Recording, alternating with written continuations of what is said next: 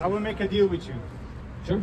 If I can prove to you that the Bible stated the advent, the, uh, the, the, the coming of the Prophet Muhammad, will you convert to Islam right here? The real purpose of my life, and honestly, is to bring people to Jesus. This YouTube channel is just an extension of that passion, of that, of that desire. I can no longer hold back this truth that I have. Do you believe in Jesus, my friend? Yes. Do you believe in Jesus, my friend? Do you read the Quran? Yeah. I, I heard you. Did, do you read the Quran? Do you know that Muhammad said to read the Injil? Muhammad said to read the Injil in the Quran.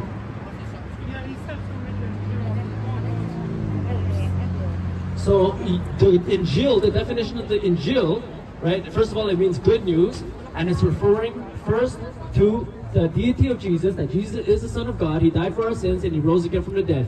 So from the beginning, that was the definition of the gospel. But then when the books were written, the, the, the book of Matthew, Mark, Luke, and John became known as the Gospels. And so that's why Muhammad said to ask the people of the book, right? Who are the people of the book? The people of the book are the Jews and the Christians. They have the Torah and they have the Injil. So these are books that Muhammad said that you are to read and you are to ask the Christians of the Jews if you have any questions.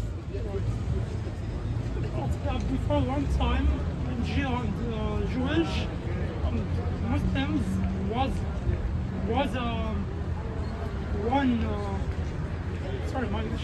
One religion? one religion.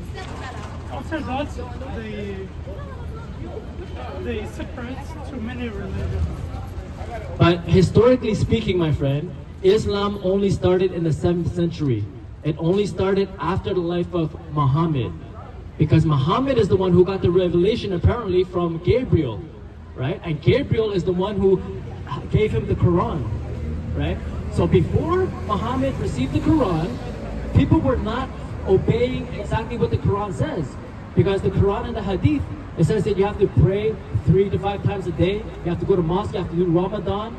All of these things were given by the revelation that Muhammad received in the 6th century. So before that, first you had the Jews who loved, lived under the law of Moses, under the Torah, right? And then after the Jewish people, Jesus came on this earth 2,000 years ago, and then we had the Injils, right? And that's when Christianity started, right? So if you go trace back through history, right? You go back to 2,000 years ago, we had the Jews, we had the Christians, and then you fast forward in the 6th century, that is when, when Islam started.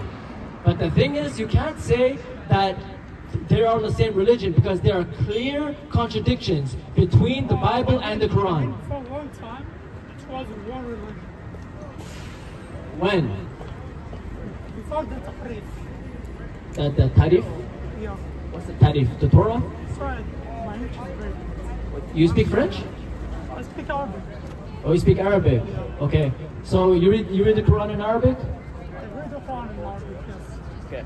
So do you believe that the Quran is the word of God? Yeah, I believe it is the one, it is, it is word of the God. Do you believe that the Quran is eternal?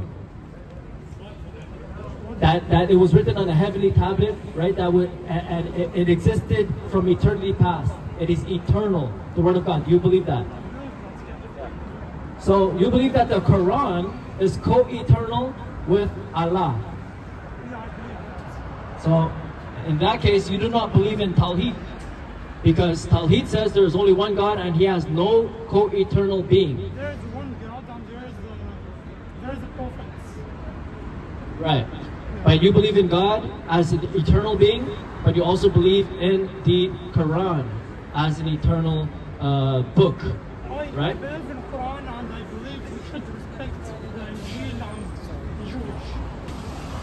Right, but the Quran says that you have to fight the Christians and the Jews until they pay the jizya. In Surah chapter 9, verse 5, Muhammad said, No, no, it, it, it, doesn't say you, you must fight the Jewish and the Christians. He said when they fight you, you must, you must defend, defend yourself. it does not say that. Surah, Surah chapter 9, verse 28 to 29. It says, fight the Christians and the Jews until they pay the jizya. It doesn't say fight the Christian and the Jewish. I'll tell you the context. No, he say you must defend a, Muslim and I'm Sunni. And I know what's the, the one they said. Well, I know what's written in it too because I read it myself. In Surah chapter 9, Muhammad said, after the sacred days have passed, you have, you have to kill all the polytheists. It says that you have to kill the polytheists. And because the, the, the Muslim people didn't know how they were going to make money in Mecca because the polytheists brought the economy, he said, if you're afraid of poverty, you're just going to fight the Christians and the Jews until they pay the jizya. And that is how Islam say, conquered. He doesn't say kill the Jewish and the Christian. He said you must respect them. No, fight them. No, he doesn't say that. A Muslim or Jew Muslim, right? You don't know what you're talking about if you think it doesn't say that. I don't know if you read the Quran because the Surah chapter 9 it says clearly kill the polytheists and fight the Christians and the Jews until they pay the jizya. And so that is why Muslims do not believe in the same thing as Christianity. He doesn't say that. He said when they fight you, It doesn't say when they fight you. It doesn't say that. It only says fight the Christians and the Jews until they pay the jizya. In my Quran, they said fight the Christians. Do you have an English Quran? I have Arabic Brother Joe, I need to hug you. I need to go. Okay, God bless you. Good seeing you. I sent you a message. Yeah, I'm sorry. No, it's okay. You're Yeah. busy. You're Yeah. doing the right thing. All right, Take God bless care. you. Take care. Hey, Jesus is the way, the truth, and the life. Amen. Remember that. Jesus. Amen. Isa. Isa. Amen. So, what I'm trying to say, my friend, because you're saying that Christians and the Jews, Christian or Muslim? I'm, I'm a Christian, but I read the Quran. Yeah, I thought you're Muslim. No, no, I, I, I'm, I'm a Christian, but I read I the. thought my English is bad, so I don't know. Uh, it's okay. You're good enough to have a conversation. What's in Quran? They said you don't kill the Christian, the Jewish. You must defend yourself. When they fight you first, and they they they uh, they have the sword and they, they fight you, you must defend yourself. You don't kill kids. You don't kill women. You don't kill the oldest man. Okay, what chapter and verse? Do you know? If you don't know it by heart, it's okay. There's, there's the ayah, but I'm, um, I'm, not, I'm not reading Quran too much. Yeah. So, but there's, there, if you read the Quran, you, you're gonna find. it. Okay. Do you know the life of Muhammad? Do you know like his biography, like how he lived and his story? Do you know Muhammad's story? Not too much. Okay, so Muhammad was born in Mecca. You know he was born in Mecca, right?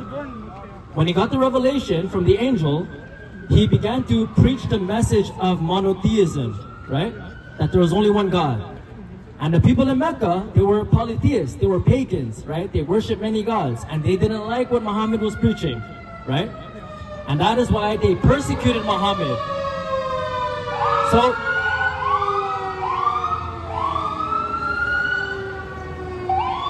So Muhammad, he only had a few followers in Mecca, right? He had his family and a few friends, right? And they were persecuted. And that is why Muhammad said, there's a verse in uh, chapter 2, he says that there is no compulsion in religion. Do You know that verse?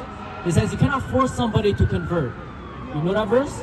Right. So, what happened was, when Muhammad was persecuted, he had to flee to Medina, right? So he fled to Medina, and that's where he started living with Christians and Jews that were in Medina, right? And he was also sharing the, the message to them. Now, when the Meccan caravans were doing business, they were going on the way to Syria, they passed through Medina. Do you know what Muhammad did?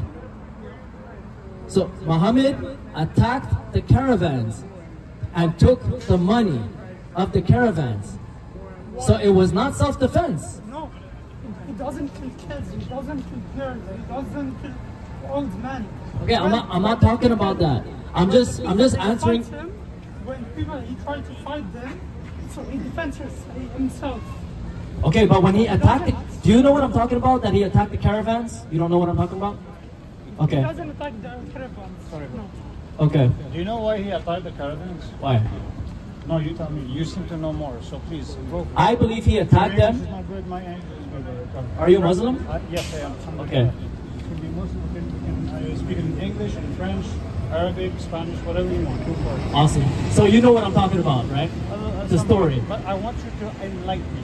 Sure, no problem. So Muhammad, he was persecuted in the beginning, right? I will concede No, no, that. I heard he was. I he was persecuted, I all right? that. He would Why did he attack the caravan between Syria and Iraq?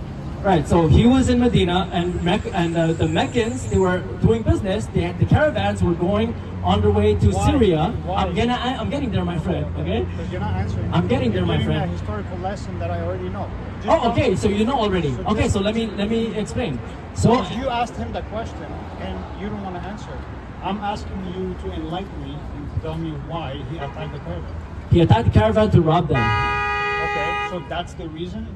That is the reason because they took the goods, Okay. they took the money, and that is why he recruited soldiers to steal from the caravans. So let me ask you. Let me ask you. Based on what do you come to that conclusion that he just wanted to rob?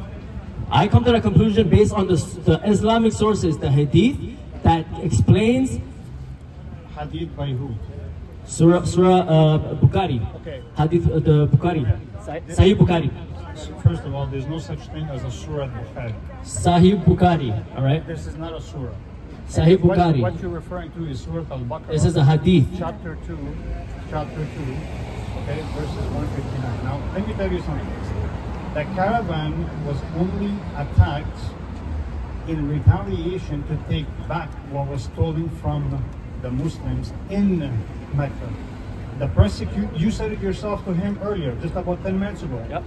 When Muhammad wasallam started preaching in Quraysh, which was known as Quraysh, which is Mecca, they started persecuting them.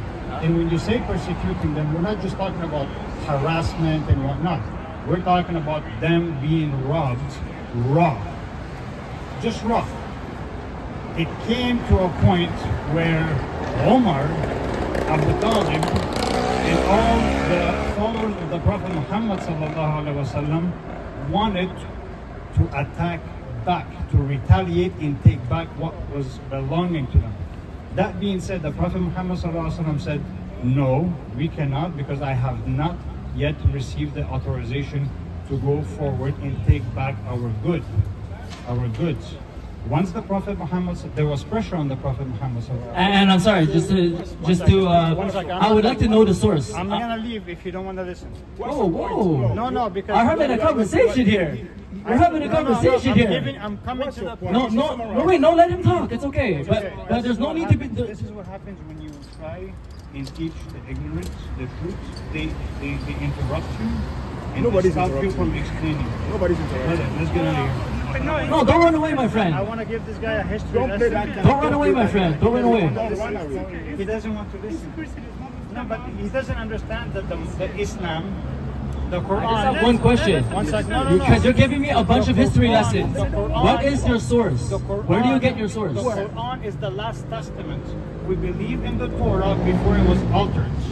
We believe in the Injil, which is the Bible, before it was altered. When was it altered? Tell me when it was altered. Every Don't, don't let single- him indoctrinate you. Injil is on the Bible. Let me talk to him. Every That's okay. single, It's okay. every, single, every single time, every single time Do that. It's true. That's in Every single time a prophet, such as Moses or Jesus, came through with messages, they were persecuted. You know by who? By the rich and powerful. Because the last thing the rich and powerful of that era wanted is a bunch of followers who were back then slaves and money making machines to follow some poor guy and then abandon their empire. Injil is not changed. Can we have a civil conversation without you getting offended and you not I'm running not- away? I'm No, no, no. I'm just saying because I feel like if I say something, you're gonna you're gonna get sensitive. No, because So when you interrupt me while I'm trying to explain and answer your question, then you're becoming disrespectful. Therefore, I have to react to that. if I was disrespectful, I apologize. I went, Don't interrupt. Then you are lost. but can we have a back and forth, or you just want me to You can listen to a your back lecture? And forth. You can, we can have a back and forth, but if you're gonna ask a question and while I'm answering, you're gonna interrupt me. I'm gonna walk. Okay, so let's try this. Okay, let's try. Let's see if it could be if it could work. If you get offended, you can walk away. It's okay. But let's let's just try to have a civil conversation. Wait, one sec. One sec. Just can I tell a story? Do you know the story between Salah ad-Din and between the Israeli Jews? Uh, between who and the Jews? No, I don't know that story. No, what are you referring to?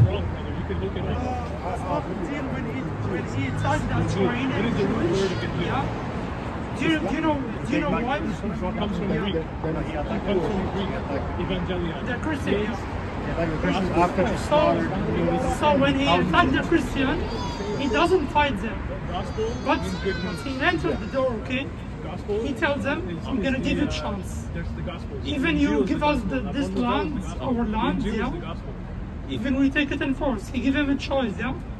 Then, then when when he when he go, they, they have a good now. So Salah, the Christian he take the women's on everything. Okay, what year was this? What year? What year around? Okay. Listen, So- so how, let me ask you something. I'm sorry. How did uh, Jesus pray? On his knees, his forehead to the floor. He prayed looking up to the heavens. Okay. He prayed how kneeling did, down. How did not, according to your Bible, no according to your Bible, Many ways. sorry, you're Many interrupting ways. me, Many man. ways. According to your Bible, Moses, Jesus, Sulaiman, Muhammad, everybody prayed with their knees on the floor and their foreheads on the floor. Yeah, he also prayed standing. Just like the way Muslims are praying today.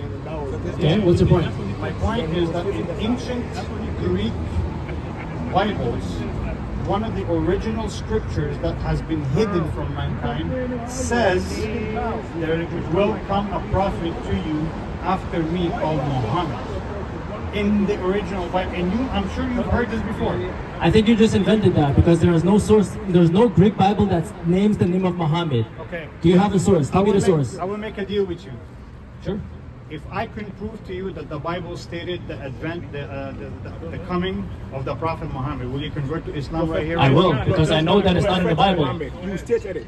Prophet He's gonna Muhammad. show the Holy Spirit. You said- gonna you said Prophet Solomon. In the Bible, In the Bible. Wait. It says If, if we the find, Prophet Muhammad if, sallallahu alaihi wasallam if, is coming. If we find After me. if we Jesus find Prophet that. Muhammad in the Bible now, Yeah. I'm gonna be a Muslim. Yeah, I mean, yeah, okay, because it's okay. not in the Bible. Okay. You can pull it up. You can pull it up. You're can- probably going to pull up Deuteronomy 18 You, you or can, John 14. You can find the name of Jesus Christ in the Quran. exactly. Yeah. If 52 he can prove to us that times. there's Muslim, there's Muhammad, the name of Muhammad in the Bible right now, everybody's gonna be a Muslim. Yeah, but it's not there. Even Jesus as a prophet. So, as you're looking for this And we believe scripture that does not exist, too. But to indoctrinate us, the Bible is Don't very clear. us what is not there. Moses spoke about a prophet that will come after him. But he said that this prophet would be a fellow brother, which means. Isaiah. Isaiah, uh, Isaiah has all One second, brother. One second, brother. Muhammad spoke about a prophet that will come after him. Deuteronomy 18:18, if that's what you're looking for. And he said that he would be among the brethren, meaning he will be a countryman, meaning he will live in the same country. God bless you. Thank you for the conversation. God bless you. And so clearly he was not talking about Muhammad because Muhammad is Arab. Muhammad is not a Jew. So the prophet that, Mo- that Moses refer- was referring to was a Jewish prophet that would be greater than him, that would be a descendant of David, of Abraham, Isaac, and Jacob. So clearly the verse that you're probably looking for, Deuteronomy 18:18, it is talking about Jesus Christ the Messiah.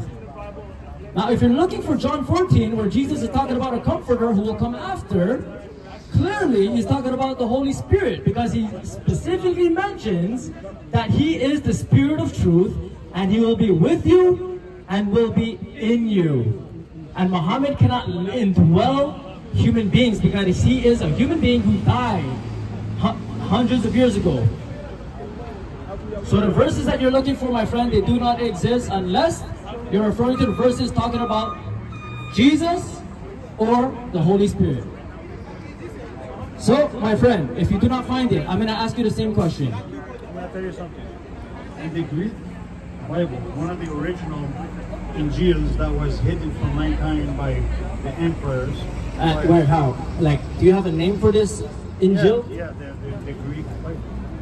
There are 4,000 Greek manuscripts, my friend. There is no one Greek Bible. There is the earliest Bibles.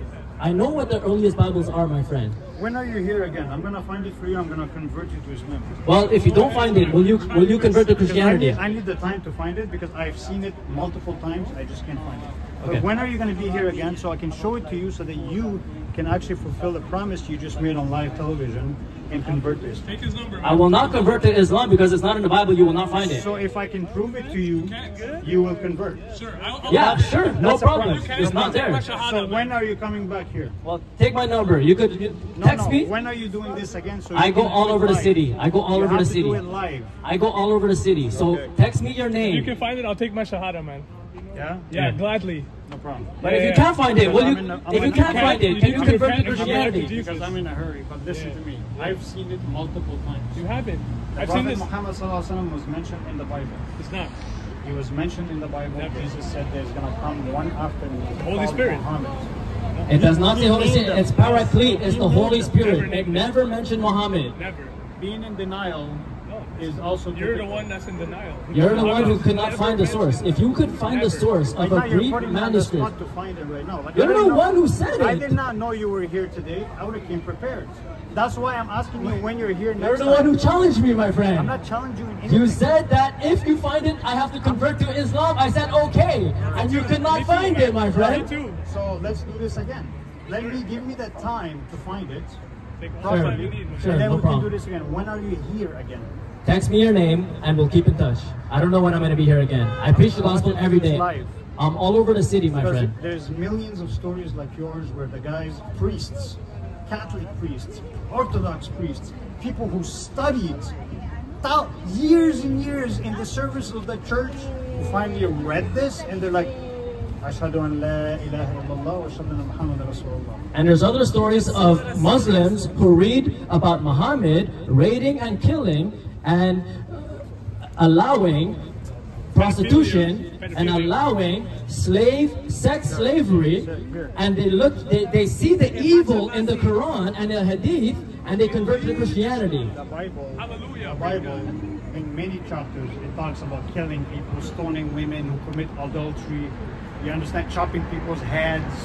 So you're in no position to talk about the Quran about that particular situation.